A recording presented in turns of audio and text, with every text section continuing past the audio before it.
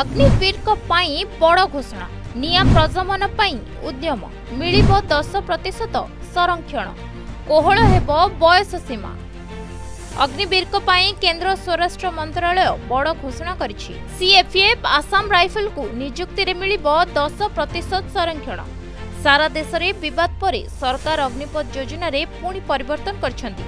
ଅଗ୍ନିପଥ ଯୋଜନା ଅନ୍ତର୍ଗତ ଚାରି ବର୍ଷ ପୂରଣ କରିଥିବା ଅଗ୍ନିବୀରଙ୍କୁ ଗୃହ ମନ୍ତ୍ରାଳୟ ପକ୍ଷରୁ ସିଏପିଏଫ୍ ଆସାମ ରାଇଫଲରେ ନିଯୁକ୍ତି ସମୟରେ ଦଶ ପ୍ରତିଶତ ସଂରକ୍ଷଣ ଦିଆଯିବ ବୋଲି ଶନିବାର ସ୍ୱରାଷ୍ଟ୍ର ମନ୍ତ୍ରାଳୟ ପକ୍ଷରୁ ଗୁରୁତ୍ୱପୂର୍ଣ୍ଣ ନିଷ୍ପତ୍ତି ନିଆଯାଇଛି।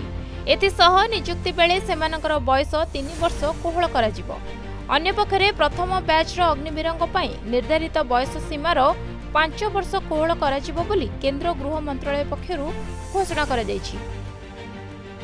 ତେବେ ଏନେଇ ଗୃହମନ୍ତ୍ରୀ ଅମିତ ଶାହ ଟ୍ୱିଟ୍ କରି କହିଥିଲେ ଦେଶର ଯୁବବର୍ଗଙ୍କର ଉଜ୍ଜଳ ଭବିଷ୍ୟତ ନିମନ୍ତେ ଅଗ୍ନିପଥ ଯୋଜନା ପ୍ରଧାନମନ୍ତ୍ରୀ ନରେନ୍ଦ୍ର ମୋଦିଙ୍କର ଏକ ଦୂରଦର୍ଶୀ ପଦକ୍ଷେପ।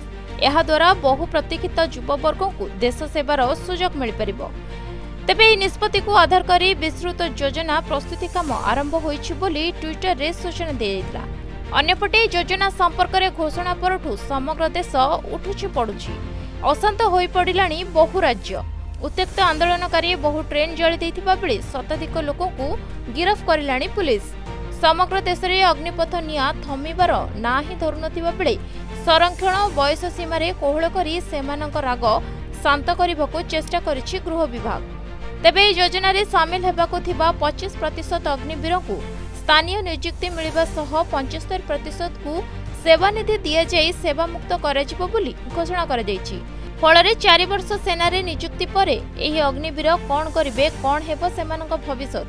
ତାକୁ ନେଇ ଆରମ୍ଭ ହୋଇଛି ପ୍ରଶ୍ନବାଚୀ। ଏହାକୁ ନେଇ ଅଧିକାଂଶ ରାଜ୍ୟରେ ଉତ୍ତେଜନାମୂଳକ ପରିସ୍ଥିତି ମଧ୍ୟ ଲାଗି ରହିଛି। Bureau report Pratidin TV.